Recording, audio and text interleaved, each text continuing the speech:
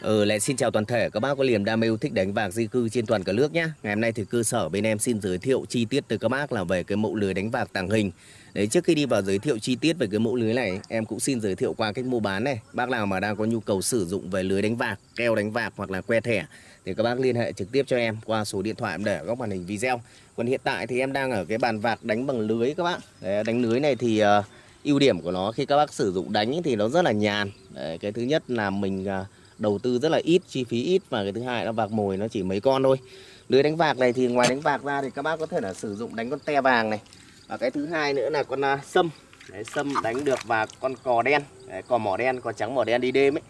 Đấy còn uh, à, mắt lưới của nó thì em sẽ giới thiệu qua cái thông số. Đấy, thông số của nó mắt lưới của nó là mắt à, uh, 12 đấy, và sợi lưới của nó là sợi 20 hàng này thì nó là lưới hải lợi thì nó sẽ không bị chạy mặt này.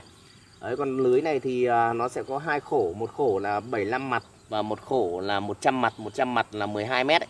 Đấy, khi làm vào rồi là làm sẽ rơi vào là 4 5 à, diềm 4 túi, còn cái khổ 75 à, mắt ấy, thì sẽ làm cho các bác là 3 diềm 4 túi. Đấy thì à, đối với cái địa hình, ví dụ như em đang đánh đây thì nó là cái địa hình khô không bị thụt nhiều thì có thể là sử dụng cái lưới ba túi. Còn ví dụ các bác sử dụng ở cái địa hình mà nó thụt ấy, đánh đầm ấy thì các bác có thể là sử dụng cái bốn túi thì nó sẽ cao lưới hơn và hiệu quả hơn lưới này thì ờ, nhà em đã chia khoang cũng như làm nhôi cọc cho các bác rồi thì về các bác chỉ việc sử dụng các bác đánh thôi. Và nó có hai khổ lưới chính đó là khổ 50 m này. 50 m nhà em làm cho các bác là ba cọc và 100 m thì sẽ làm cho các bác là 5 cọc ví dụ như nắm 100 đây. Còn bây giờ thì sẽ quay cho các bác xem là về uh, cái lưới khi lên nó sẽ như thế này. Đây là cái tay lưới nhá uh, 5 diềm ờ, 4 túi đây Đấy, đánh ở trên cái xào 7 m đây. Đấy đây lưới đây. Đấy lưới này lưới mắt ngang nhé khi ờ, và nó độ tàng hình của nó rất là cao các bác. Đấy, lưới thịt rất là nhiều. Thì các bác sử dụng đánh thì nó yên tâm. Đấy, khi con vạc vào thì nó sẽ không trèo được. Và cái thứ hai nữa nó không bị chạy mặt thì cái tỷ lệ bị sẩy con vạc rất là ít và nó là cái mẫu lưới tàng hình. Khi chúng ta quay ờ, trực tiếp cái chiều này vào thì chúng ta sẽ không nhìn thấy gì nữa các bác. Đấy, thực tế là sẽ không nhìn thấy gì. Đấy, và nhìn thấy thì nó chỉ loáng thoáng lờ mờ thôi.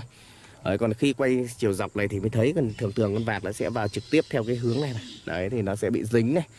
Đấy còn à, bàn thì à, chỉ cần nuôi đến một ít vạt thôi các bác. Đây có mấy con đây bốn năm con. Đấy nuôi à, đánh thì à, mình đánh cái tiếng vạc lưới này thì nó sẽ quẩn xuống và nó vào. Còn dây diềm à, thì em làm cho các bác là dây diềm cực đúc nhé đấy khổ 50 m và 100 thì có thể là chạy vòng xung quanh đây.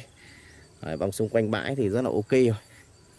Đấy, còn bác nào đánh keo hoặc là đánh bằng lưới dập thì cũng có thể là tham khảo đặt hàng thì bên cơ sở nhà em là sẽ có những cái phụ kiện dùng để cho các bác đánh Đấy, ví dụ như là lưới này keo chẳng hạn đấy còn à, về loa đài âm ly thì à, đầy đủ hết các bác Đấy, đánh vạc này thì loa đài âm ly rất là quan trọng bởi vì nó là cái con chim cũng đem lại kinh tế khá là cao thì các bác có thể là tham khảo đặt hàng Đấy, những cái sản phẩm bên cơ sở nhà em Đấy, một video thì à, giới thiệu chi tiết tới các bác là về cái mẫu lưới đánh vạc nhé. Đến đây là kết thúc. Hẹn gặp lại các bác ở những video lần sau.